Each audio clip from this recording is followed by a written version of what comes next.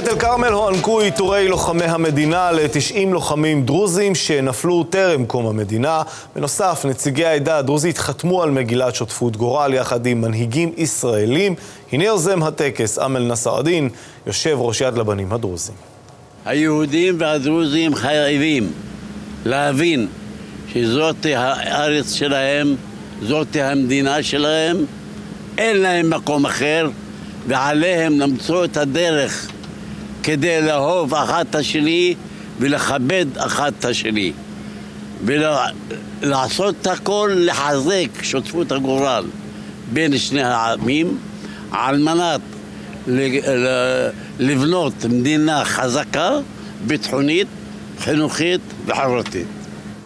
עכשיו אנחנו אומרים שלום לבנו לוטפי נסר ערב טוב. ערב טוב. אביך מיוזמי הטקס המרגש, אז בוא ספר לנו קצת על המחווה המיוחדת הזאת. כן, אה, אבא שלי הוא יושב ראש יד לבנים לדרוזים, והמכינה הקדם צבאית הדרוזית הראשונה.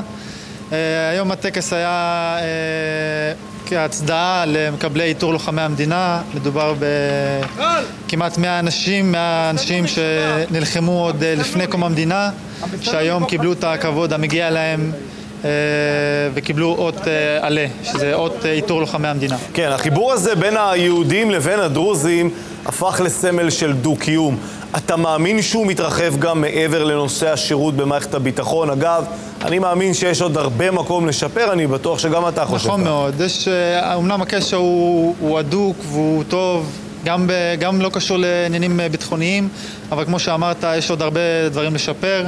ואני מאמין שעם הזמן ועם הפעולות הנכונות והמאמצים של נבחרי הציבור שלנו, הדרוזים, וכמובן בממשלת ישראל, שכמובן זה ילך וישתפר. טוב, הלוואי. אני מבין שאגב, אביך עמל, יושב ראש יד לבנים הדרוזי, יזם כתיבת מגילה לשותפות בין היהודים לדרוזים, מגילה שפונה בעיקר למנהיגים. דרך אגב, זה עניין שהוא מובן מאליו, ובכל זאת, מאיפה מגיע הרעיון? הרעיון, אה, כמו שאמרת, אבא שלי הוא יזם את זה. אה, הרעיון הוא כמובן לחזק, אבא שלי כל הזמן פועל לחזק את הקשר בין היהודים לדרוזים, בכל המובנים, בכל המישורים. וזה עוד, עוד פעולה שכמובן תחזק ושאתה יודע, נחדש את, ה, כן. את הקשר ואת ה...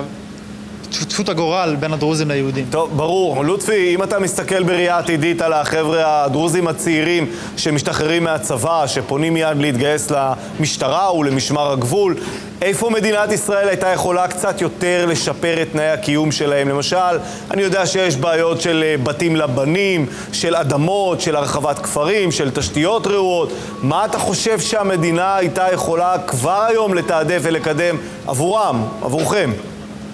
אה, נכון מאוד, אה, במישור הביטחוני אין שום הבדל, הדרוזים אה, מובילים ואין אין, אין אפליה או משהו כזה, הבעיה של הדרוזים היא במישור האזרחי שכמו שאמרת יש המון בעיות של אדמות, של הסדר אדמות, של תשתיות, המון אנשים, המון חיילים וקצינים שאין להם חיבור לבית, לחשמל או תשתיות של מים ודברים כאלה כמובן שהייתי רוצה לראות את זה משתנה ושכל חייל יקבל את הזכויות שלו, או כל משתחרר, או כל אזרח כן. אה, שיקבל את הזכויות שמגיעות לו. טוב, לוטפי נסר א-דין, תודה רבה לך.